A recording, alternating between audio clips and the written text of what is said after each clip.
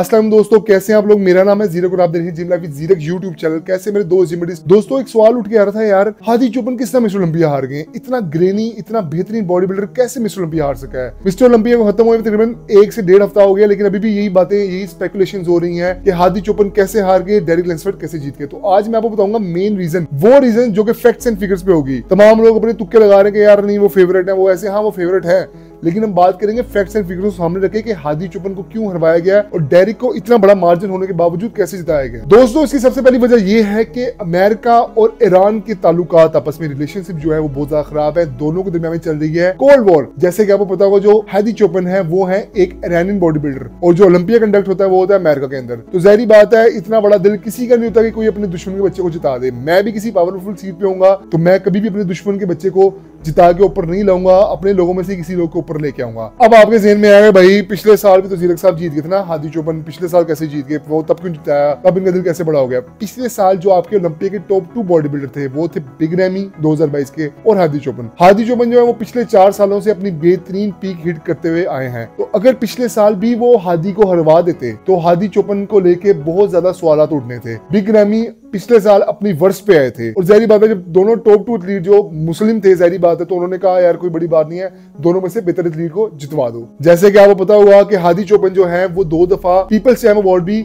ले चुके हैं। पीपल्स चैम अवार्ड का जो स्टिकर है, ये वैसे ही किसी बॉडी बिल्डर को लगा देते हैं कि जो उनको नज़र आ रहा हो, ये डिजर्विंग है और इसको हमने नहीं जितवाना तो ये उसको पीपल्स चैम का अवार्ड दे देते हैं। इसलिए उन्होंने हादी चौपन को जो है पीपल्स चैम का अवार्ड दो साल दिया, जब उनको साफ़ नज़र आ रहा था कि डिजर्विंग है, ये अच्छे हैं, आपके ब्रैंडन करी से ये इवन आपके फिली से भी अच्छे हैं। हादी चौपन जो थे 2020 में फिली से भी ज़्यादा अच्छे थे। वो सेकंड प्लेस डिजर्व करते थे। फ़र्स्ट में उस टाइम पे रेमी ही थे, लेकिन सेकंड पे डिजर्व करते थे हादी चौपन तो इसलिए उन्होंने भाई उसको रेमी को हरवा दिया और हादी चौपन को जितवा दिया। अब मेरे ख्याल से मैं कड़वी बात करूँगा इस बात के। आप अगर डिसएग्री करते हैं तो वो आपका अपना ओपिनियन है, लेकिन मेरे ख्याल से हादी चौपन नाइनटी चांसेस है कभी दोबारा आने वाले सालों में मिस्टर ओलंपिया नहीं बन सकेंगे, क्योंकि उनको अपना एक ओलंपिया का फेस मिल गया है डेरिक लेंसफोर्ड उनको मिल गए। मेरा ये मानना है कि अगर डेरिक लेंसफोर्ड अपनी पिछले साल वाली कंडीशनिंग भी लेके आते, जो कि 2022 में थी, वो भी रिपीट करते ना तो इन्होंने हादी चुपन को दोबारा हरवा देना था। अब अगला सवाल आप जेन में आता है कि भाई पिछले साल इन्होंने हादी को क्यों जितवाया डेरी को क्यों नहीं हरवाया? क्योंकि डेरिक लेंसफोर्ड जो थे, वो नए नए एथलीट थे, उनका ओलंपिया डेब्यू था तो बहुत ज़्यादा सवाल खड़े हो जाने थे कि यार, एक नया एथलीट आ गया है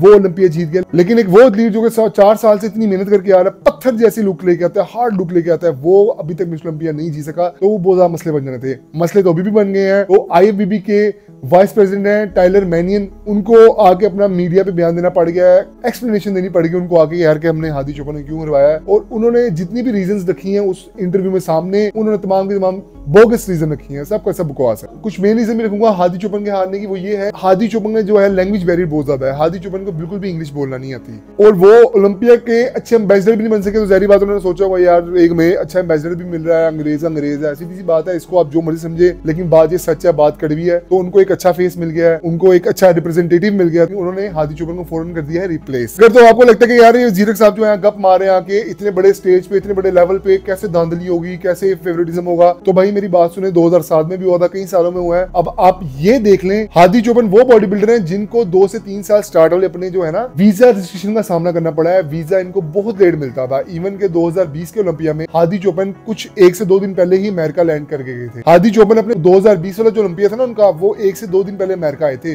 और इस लेवल के एथलीट को इतनी लेट वीज़ा इशू करने का मकसद क्या यही होगा? जहरी बात है, वो उस एथलीट को जीता हुआ नहीं देखना चाहते। मेरा तो यही मानना दोस्तों के डेरिक लेंसफर्ड अपने पिछले साल की कंडीशन में ले आते तो इनको जिता देना था, इसको हरवा देना था हादी चौपन को। अब बात रही कि यार आप लोग हेट दे रहे हैं, हम लोग हेट दे रहे हैं बहुत ज़्यादा डेरिक को तो डेरिक की इसमें कोई गलती नहीं भाई, कोई अपनी मर्ज़ी से मिस्टर ओलंपिया नहीं बनता।